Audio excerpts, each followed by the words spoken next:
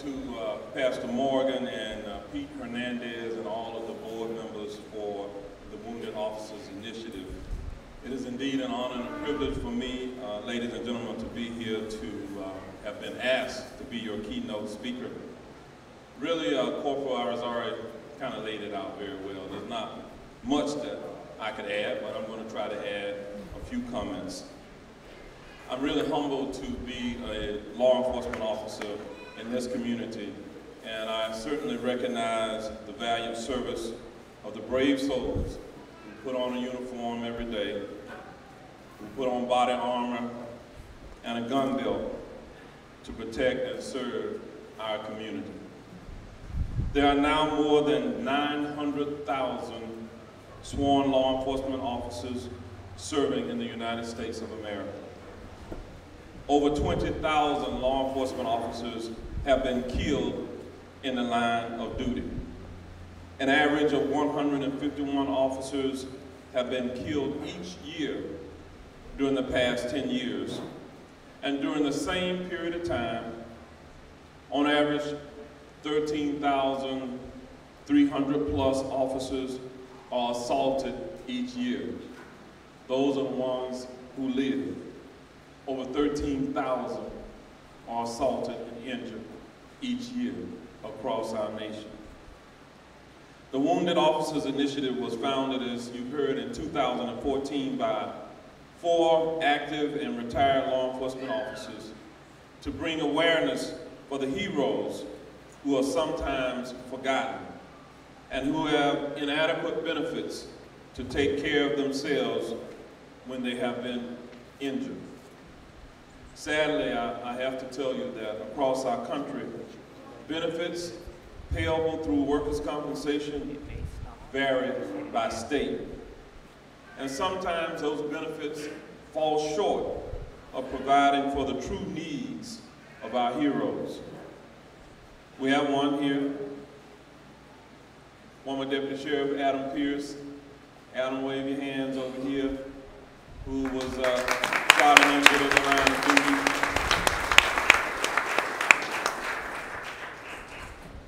In the last year or so, our community has been through many tragedies. I remind you of June of 2016. A calamity of traumatic events began during that period of time for this community. They include incidents that required our law enforcement officers to respond to gruesome, horrific crime scenes that left them emotionally and physically scarred. They include the June 10, 2016 incident in which celebrity entertainer and singer, former Voice contestant, Christine Grimmie, was stalked and killed by lone gunman.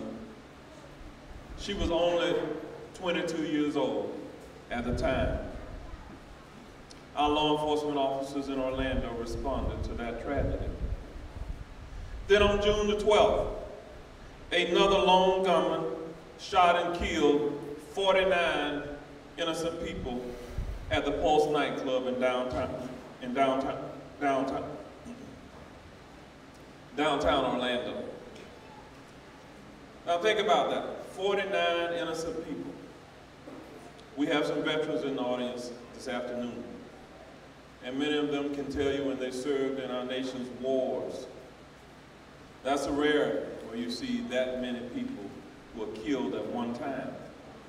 But our law enforcement officers and first responders had, had to endure that scene. Numerous officers responded to the incident and witnessed the worst mass shooting in U.S. history.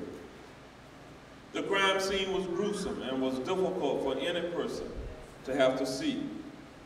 In fact, Orlando police officer Gerry Realin was so emotionally impacted by what he saw that he was not able to return to work and has since been medically retired from the Orlando Police Department.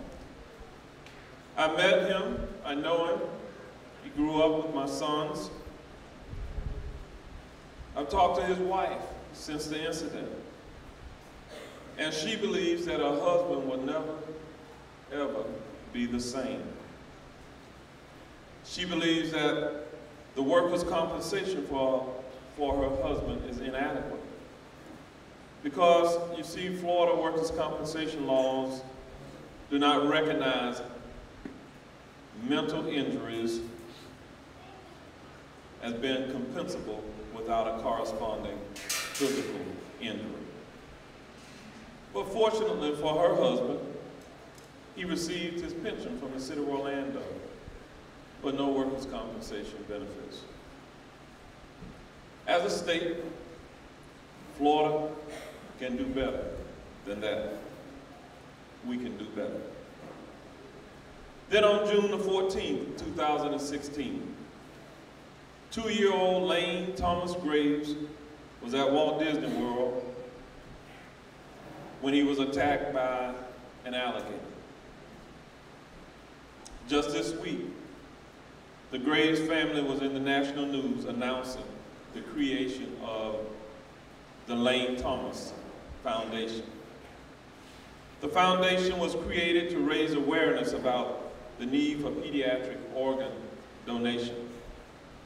Lane's parents, Matt and Melissa, announced that the foundation will work in collaboration with the Nebraska Medical Center to help families with living expenses and other needs when they travel away from home in other states in support of their children going through organ transplants. These examples I'm giving you represent when a tragedy occurs, how something good can sometimes come out of it. In fact, the Wounded Officers Initiative is indicative of something good that comes out of the numerous tragedies that our law enforcement officers face across the nation. During the ordeal at Disney, I was proud of my deputy sheriffs who put on their scuba gear to dive into the gator-infested lake to recover the remains of Lane Graves. Those deputy sheriffs did so without hesitation. Then in this community, we endured the killing of Orlando Police Lieutenant Deborah Clayton. The tragic death of Orange County Deputy Norman Lewis on the same day in January of this year. And most recently, the killings of Kissimmee Police Sergeant Sam Howard and Officer Matthew Baxter. That's a lot that this community is going through. Your first responders have responded to all of those events. What I'm suggesting to you is that law enforcement is a dangerous job, but one in which there are many heroes still willing to do the work. These men and women deserve our support. We must honor those who died, but we also honor those who live. The Wounded Officers Initiative helps us to do that.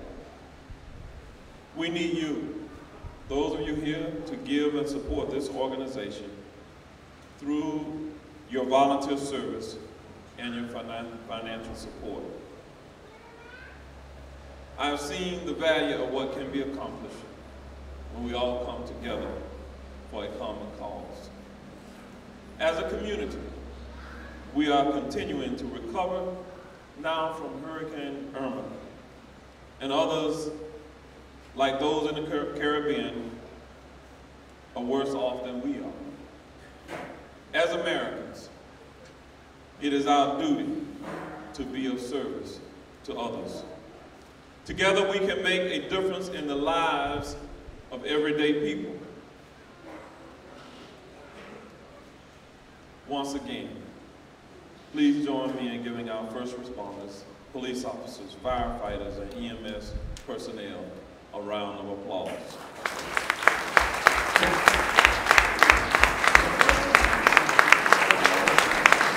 They deserve our admiration. Thank you. We appreciate when you show us that you do care. Given all those circumstances that I just talked about in just one community in America. We are indeed one nation under God, indivisible with liberty and justice for all.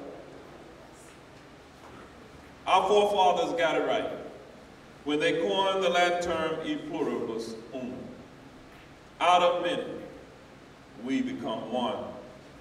We are Orlando strong. Again, I thank you, Peter Hernandez and Corporal Arizari and the entire board of directors and the founders for what you have done to take care of our wounded. Thank you again. Pastor Morgan for stepping up to organize this barbecue. Thank you all for being here. May God bless you, and may God bless these great United States of America.